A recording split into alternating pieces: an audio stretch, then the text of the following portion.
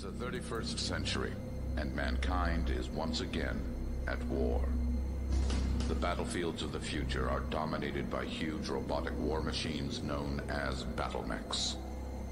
Piloting these awesome weapons of war are men and women, the elite of the elite, knowing that each battle could be their last. They are mech warriors. Zdravím lidi, já jsem Black Widow a vítám vás u dalšího videa ze světa Battletechu. Dnes se podíváme na události, které následovaly po pádu Hvězdné ligy. Po občanské válce mezi Amerisem a Kerenským byl Jerome Blake v roce 1780 nominován na pozici ministra komunikací Hvězdné ligy a pověřen rekonstrukcí rozbité sítě hyperpulzních generátorů APG zařízení určené pro komunikaci mezi planetami. Jmenování bylo odsouhlaseno nejvyšší radou. Blake se proto rychle ocitl na ministerstvu komunikací v čele snah o rekonstrukci. Ministerstvo se prakticky stalo neformální vládou, protože každý vůdce velkého rodu se zaměřil na budování vlastních armád spíše, než na zdevastovanou hvězdnou ligu. Blake neustále naléhal na lordy rady, aby jmenovali formálního vůdce hvězdné ligy. Bez úspěchu jelikož každý lord tuto pozici chtěl pro sebe. Naprostý kolaps taranské hegemonie a hvězdné ligy se zdál být jistý. Alexandr Kerenský se soukromně setkal s Blakem po formálním dokončení Hypig stanice Hilton Head koncem roku 2783 a svěřil se mu se svým plánem operace Exodus. Blake, zděšený a rozlobený, se pokusil jej přimět, aby zůstal – když pochopil, že s ním nehne, podařilo se mu jej přesvědčit, aby požádal některé z vojáků, kteří odmítli se k němu připojit, aby pomohli ministerstvu komunikací při rekonstrukci. Kerenskému se nakonec podařilo přesvědčit generálku Loren Hejsovou, velitelku 151. královské Battlemech divize. Ve skutečnosti ale velitelku 17 divizí a 14 nezávislých regimentů jednotek Starlink Defense Forces, které netvrději odmítali účast na operaci Exodus, aby slíbili věrnost Blakeovi. Díky Blakeově téměř úplné kontrole nad tokem komunikace nikdo z bývalých lordů rady nevěděl a ani netušil, že Blake má pod velením značnou vojenskou sílu. Všichni věřili, že jednotky skutečně odešly s flotilou Exodus nebo byly tajně najaty některým z lordů. Blake zadržel tyto jednotky jako poslední možnost a nadále se soustředil na rekonstrukci sítě APG. Zejména dosáhl obnovení prvního okruhu. První okruh byly hlavní správci stanic APG, které tvořily primární stanice staré sítě Starlink, konkrétně planety Nová Země, Barnard, Alpha Centauri, Bryant, Procyon a Deiron. Z těchto správců stanic vznikla vládnoucí rada s Blakem v čele, pojmenovaná First Circle. První kruh nebo taky okruh. Na Blakeovo naléhání zakázal první kruh účast na schůzích všem, kdo nepatřili k vyvoleným a začal ve zbytku organizace podporovat mentalitu tajné společnosti, aby zabránil nástupnickým státům nepatřičně ovlivňovat organizaci. Jednou z dalších věcí, na které se první okruh dohodl, byl návrh Konráda Tojamy, správce stanice Dayron, přejmenovat organizaci na Comstar. Dále bude pokračovat obnova tedy a zničených světů hegemonie spolu se sítí APG po další dva roky. A navzdory Blakeovu úsilí vysílá nad vším, čeho Comstar dosáhl, rostoucí mračné války a jeho strach, že touha lordů pomoci zničí vše, co tak dlouho budoval, jen narůstal. Na tajném setkání s First Circle v zimě roku 2786 Blake stále více přemýšlel, jak ochránit Teru a CAPG, nastínil proto svou operaci Silver Shield. Plán měl tři klíčové části. Přesvědčit vůdce velkých rodů, aby souhlasili s neutralitou Komstáru – jejich zařízení, personálu, ustanovení akreditivu Comstar, Sibyl, jako společnou měnu pro výměnu se všemi velkými rody za služby Komstáru a konečně zabavení Terry a mnoha okolních dalších světů hegemonie ve jménu Komstáru.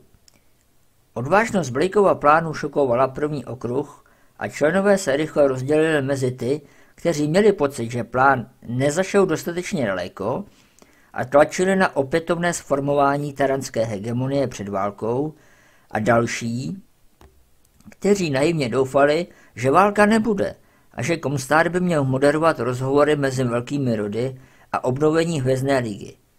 Nakonec Blake přesvědčil všechny členy vysoce skeptického orgánu, aby jeho plán podpořili, pokud se jeho jednání s lordy o zajištění neutrality Komstáru ukáží jako úspěšné.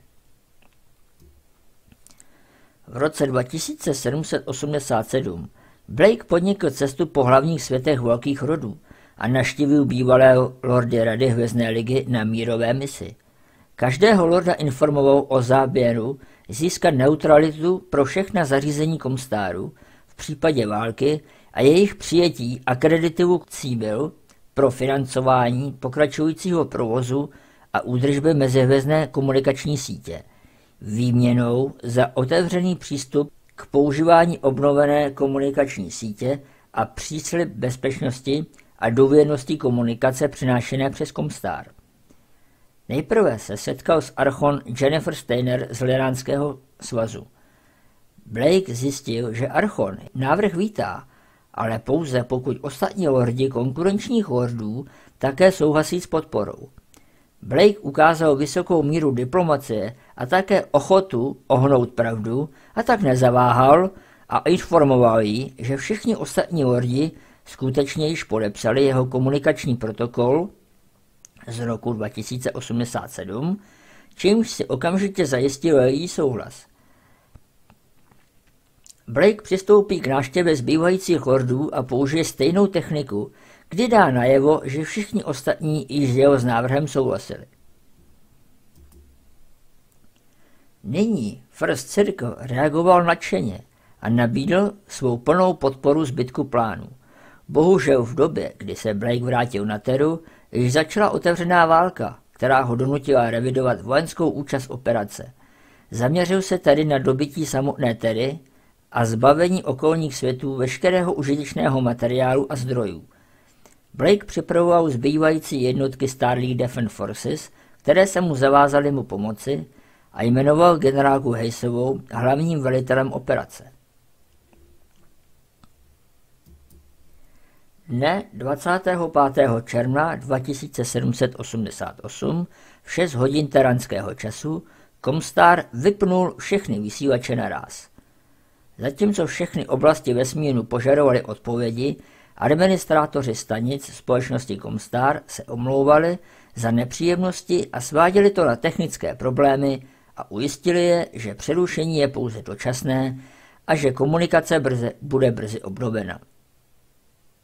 Na samotné teře se hejsových osm divizí, maskující se jako žoldnéři, primárně zaměřoval na zbývající pozemní stanice vesmírného obraného systému.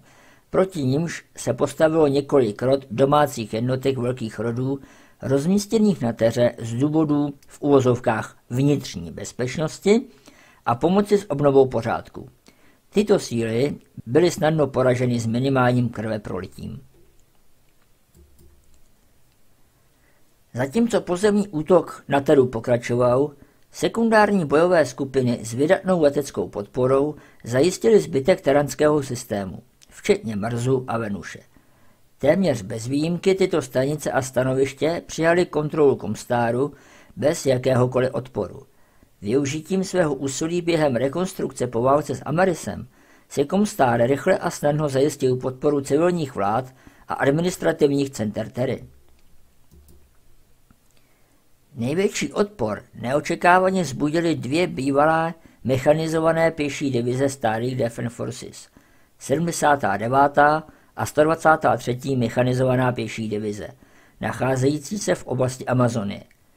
Obě dvě divize se odmítly podrobit nové autoritě i poté, co se Hejsová odvolala na jejich společnou minulost ve Starlink Defense Forces a svedly řadu bitev v amazonských dešních pralesích, které nyní nazývali svým domovem. Jejich odpor byl nakonec zlomen po nasazení elementů 251. Battlemech divize. Po 72 hodinách obnovila síť APG vysílání a odvysílala scény z vojenského převzetí Terry. Celou operaci nafilmovala a zdokumentovala na příkaz Blakea a prvního okruhu. Blake také přidal krátkou zprávu do celé vnitřní sféry. Cituji. Lidé z bývalé Starlink, jsem Jerome Blake, hlavní administrátor Comstaru. Od dnešního dne 9 hodin teranského standardního času vojenské síly pod mým přímým velením ovládly teranský hvězdní systém. Comstar nyní oficiálně ovládá Teru a všechna zařízení bývalé hvězdné ligy, která v systému zůstala. Od této chvíle prohlašuji Teru a celý solární systém za neutrální území pod ochranou Comstaru za podmínek komunikačního protokolu z roku 2787. Jak bylo jasné z předchozího vysílání, Comstar má dostatečnou vojenskou sílu k obraně domovského světa lidstva od jakékoliv adrese. Naše cíle jsou mírové. Usilujeme o jednotu a prosperitu lidstva. Tato akce byla přijata za účelem záchrany života ve zničující válce, která se rozvíjí. Comstar bude i nadále nabízet své komunikační služby všem členským státům, dokud bude solární systém a naše neutralita neporušena. Jerome Blake, 28. června 2788 Vzhledem k tomu, že lordi nástupnických států byli zaměstnáni bojem mezi sebou, byli všichni zcela zaskočeni Blakeovým bleskovým útokem na Teru. Vzhledem k široké nejistotě ohledně velikosti síly dříve neznámých vojenských elementů Komstáru, všichni lordi pozastavili jakékoliv plány na útok proti Komstáru nebo Teře. Blake si uvědomil, že lordi nástupnických států se z velké části utěšovali vírou, že po porážce všech ostatních opozic budou mít spoustu času na dobytí Terry a tak pokračoval v tajném posilování a přípravě vojenských sil Komstáru. Během pěti dnů od dobytí Terry se stoupila na planetu Nová Země flotila výsledkových lodí Komstáru. Na rozdíl od podobných nájezdů proti jiným světům teranské hegemonie, zahájených různými státy, milice pozůstatků hegemonie, které obsadili základny a sklady stálých Defense Forces, z velké části vítali jednotky Komstáru a aktivně pomáhali při demontáži vybavení zařízení. Od 3. do 11. července byl každý kousek pokročilého vybavení a vojenské techniky metodicky rozebrán, naložen a přepraven na teru. Všechny elementy od 79. a 123. mechanizované pěší divize, které byly zajaty nebo se vzdali hejsovým silám během operace Silver Shield, byly poslány do vazebních středicech Komstáru pouze na tak dlouhou dobu, dokud jejich základny a vojenské vybavení byly zabaveny nebo zničeny. Těmto jednotkám bylo později nabídnuto plné omilostnění a občanství na teře, nebo byli vyhoštěni do nástupnického státu dle svého uvážení spolu s několika konkrétními jednotkami zajatými během konfliktu, což byla nabídka, která měla po převzetí Terry potrhnout myšlenku, že Comstar jsou ti v úzovkách good guys. V rámci zachování dobrého image Comstar vyvine vlastní službu schromážďování zpráv a šíření informací, které doplní její základní komunikační pobočku, aby zajistili, že Comstar může poskytnout svůj vlastní úhel pohledu a ovlivnit veřejné mínění ve svůj prospěch. Comstar News Bureau se stal primárním mezihvězdnou pravodajskou sítí v následujícím období nástupnických válek. Zároveň byl jednou z metod, jak manipulovat s nástupnickými státy.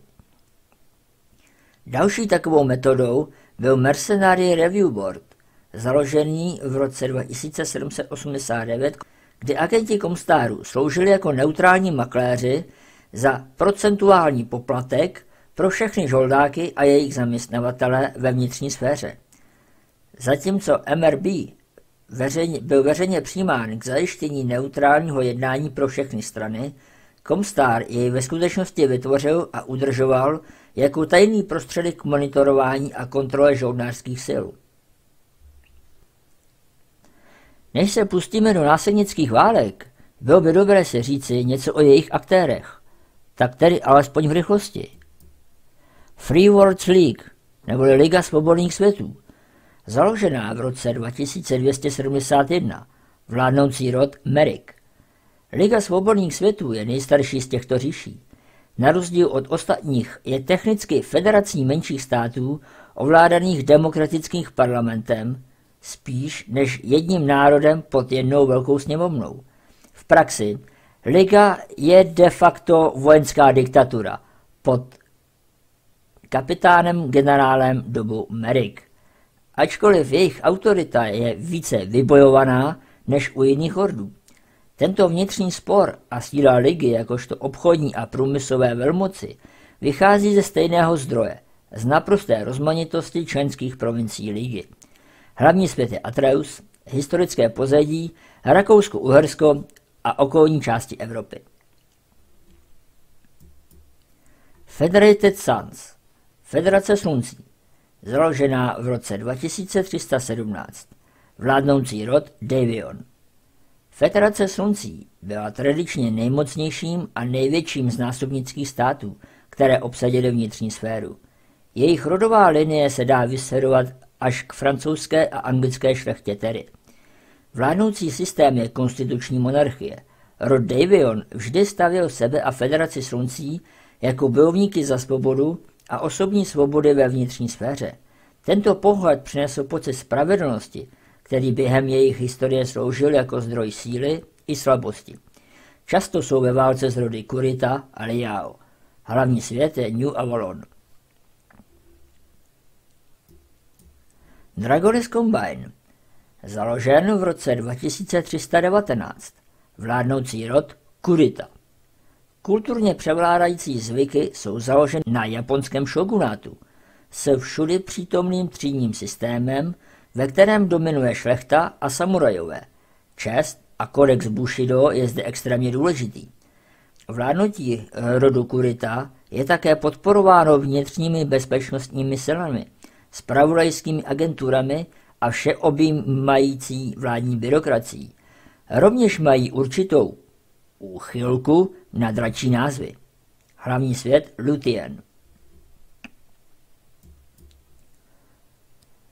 Liran Commonwealth, založen 2341, vládnoucí rod Steiner.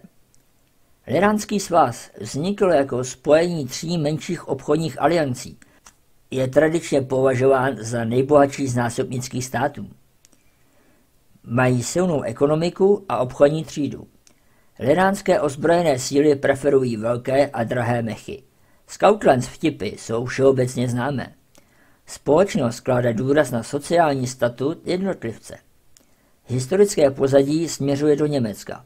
Hlavní smět Tarka. Kapelanská konfederace Založena 2367 Vládnoucí rod Liao Nejmenší a nejmladší z nástupnických států. Socialistický policejní stát se silnými čínskými a ruskými vlivy – konfederaci vládne autoritářský kancelář, který byl téměř vždy členem rodu Liao. Během nástupnických válek byla kapelánská konfederace smolařem a ztrácela území ve prospěch svých agresivních sousedů a byla proto několikrát na pokraji úplného kolapsu. Mnoho kapelánců je hrdých na své občanství. V neposlední řadě proto, že si ji museli zasloužit a službu státu považují za hodnou oběť pro dobro lidstva. Původně byla založena na kapele. Její současný hlavní svět je Sian. První nástupnická válka Jakmile se Kerenský a Starlink Defense Forces stáhly z vnitřní sféry, napětí rychle eskalovalo. V prosinci 2786 Minoru Kurita, koordinátor Dragonis Combine, se prohlásil novým prvním pánem Hvězdné ligy. Ostatní vůdci států rychle udělali to samé a během několika měsíců byla vnitřní sféra uvržena do konfliktu. Válka trvala 34 let.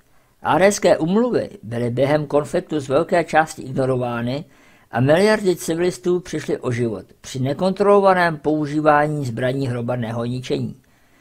Nástupní číordi použili všechny prostředky, které měli k dispozici k napadení svých nepřátel, včetně biologických, chemických a jaderných zbraní. Po čase válka sklouzla k rychlým nájezdům za nepřátelské linie s úmyslem ochrany průmyslové nebo technické cíle. Nejvíce zasaženy byly planety, které se spolehaly na technologii čištění vody, aby byly obyvatelné. Mnoho z těchto zařízení se stalo vojenskými cíly a obyvatelé těchto planet potřebovali vodu dovážet nebo ji najít jinde. Na neštěstí pro mnohé v tomto období byl obchod vážně naručen a vodních lodí bylo málo. Na konci války byly planety bohaté na vodu stejně cené jako na začátku expanze lidstva ke hvězdám. Válka skončila spíše vyčerpáním, než na nějaké významné mírové dohody. Liránské společenství a Liga svobodných světů podepsali mírovou dohodu, který ukončil konflikt mezi dvěma státy, ale byla oznámená bez okázalosti a pompy, které se obvykle očekávaly. Jiné mírové dohody, včetně nabídky Ilzy Liao, kancelářce eh, kapelánské konfederace, byly odmítnuty. Federace sluncí po zvěrstvu na Kentaru 4 nikdy nemohla souhlasit s dohodou s Dragonis Combine. Jakmile získali zpět většinu svých počátečních ztrát, vrchní velení Davionců se rozhodl zastavit. Zatímco kapelánská konfederace na začátku války bohatě získala, zejména směrem k Teře, později ztratila velké území v důsledku náporu Federace sluncí a Ligy svobodných světů. Prvním kapelánským útokům napomohlo zachycení některých kódových knih Ligy svobodných světů, co už umožnilo kapelancům moment překvapení. Jak se však válka protahovala, kapelánské síly nedokázaly získat další knihy a síly rodu Marik byly lépe připraveny. Zatímco fronta s Federací sluncí mírně stuhla, hranice s Ligou svobodných světů byla rozebrána výrazně nadřazenými Marikovými silami. V roce 2808 se kancelářka kapelánské konfederace Ilza Liao vzdala nároku na titul prvního lorda a nabídla svou podporu princi Paulu Davionovi, pokud Federace sluncí trvale podstoupí oblast Chestertonské konfederace. Paul Davion místo toho nařídil dvěma jednotkám, aby se zmocnili kaplanských světů. Ular, Ulan Batar a Farwell. Proč tomu princ přistoupil, je stále předmětem spekulací, ale jeho odmítnutí zdrželo mír mezi oběma státy o dalších 13 let. Dragonis Combine se na konci války nárokoval vítězství, především proto, že získal značná území. Celkem si Combine nárokoval 19 světů z Iránského svazu a 6 z Federace sluncí. Ztratil však 60% své výrobní kapacity ve vojenském okruhu Dayron. Koordinátor Chenjiro Kurita byl s výkonem armády méně než spokojen a mnohé z těch, kteří selhali ve svých povinnostech, degradoval. Politici byli také odstraněni ze svých funkcí a navzdory pokušení, které jistě cítil, Jinjiro popravil jen hrstu důstojníků a politiků. Stejně jako ostatní domy ztratila Federace sluncí velkou část své kapacity stavby lodí. Velká část jeho průmyslové kapacity byla ztracena kvůli poškození zařízení na čištění vody. Odhady uvádějí počet obětí na více než jednu miliardu, většinou civilních. Toto číslo zahrnovalo pouze přímé válečné oběti, nikoli v ty, kteří zemřou v důsledku hladomoru, nemocí nebo jiných příčin. Liga svobodných světů dosáhla značných zisků ve válce, většinou na úkor kapelánské konfederace. Po kerenského odchodu se technologicky bohaté státy Hvězdné ligy obklupující Teru staly primárním útokem ligy. Jako součást tohoto tahu byly v tomto procesu obsazeny světy konfederace. Vtipkovalo se, že kvůli úspěchu ligy V té době Merrick házel šipky na nástěnou mapu vnitřní, eh, vnitřní sféry, aby si vybral své další cíle. Liga skutečně utrpěla stejnými technologickými i vědeckými úpadky, které postihly ostatní domy, jen v menší míře.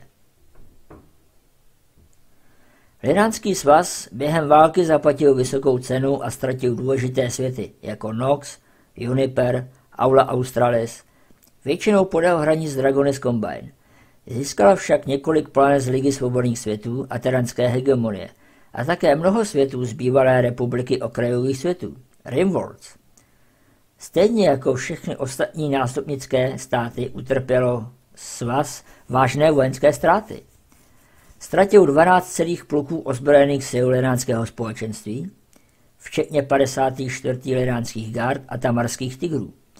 A většina že zbývajících 110 pluků utrpěla tak těžké ztráty, že ve skutečnosti pouze tři pluky mohly schromáždit více než 60% své předválečné síly. Stejné to bylo u ostatních nástupnických států. Rovněž i námořnictvo Commonwealthu bylo téměř úplně zničeno. Období po ukončení hlavních operací bylo přinejmenším neklidné. Lídři rychle rozpoznali potřebu ochránit svá zbývající vědecká a technická aktiva. Jedna pozoruhodná vojenská událost, která se odehrála během tohoto klidu, byla série útoků na Dragonis Combine, záhadným útočníkem, pojmenovaný podle nalezených insignií jako kmen Minnesota v roce 2825. Klid však trval pouze devět let, než byla vnitřní sféra zde opět pohlcená konfliktem druhé války o následnictví. Přátelé, já vám děkuji za sledování dnešního videa a u další části měli příště ahoj.